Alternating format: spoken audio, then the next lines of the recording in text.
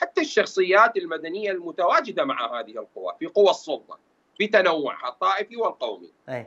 بكل المشارف هي على يقين إن هذه الطبقة السياسية انتهت ولكن هناك أمور كثيرة تتعلق بالجغرافيا الانتخابية وتتعلق بالتمكين وإلى آخره، اليوم تعرف إحنا مواردنا المادية ليست تلك الموارد الكبيرة حتى نمكن أعداد كبيرة جدا من المرشحين أو مرشحين نوعيين.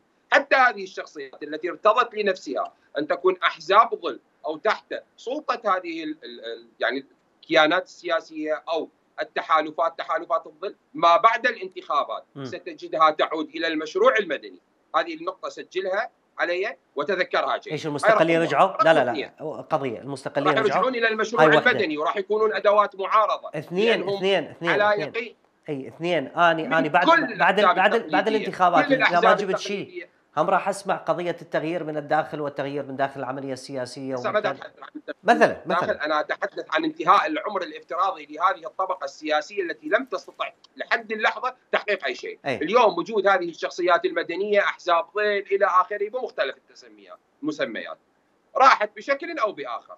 سجل علي هاي النقطة بشكل أو بآخر. م. ما بعد الانتخابات راح تشوف هاي الشخصيات اللي تم اتهامها هسه بيهم جزء منهم. هم سلطويين محاصصاتيين للنخاع ولكن هناك شخصيات فرضت عليها الطبيعة الانتخابية التواجد، أنا بدا أبرر هاي ملاحظات كبيرة سجلناها على الكثير من الشخصيات التي ارتضت لنفسها هذا الموضوع.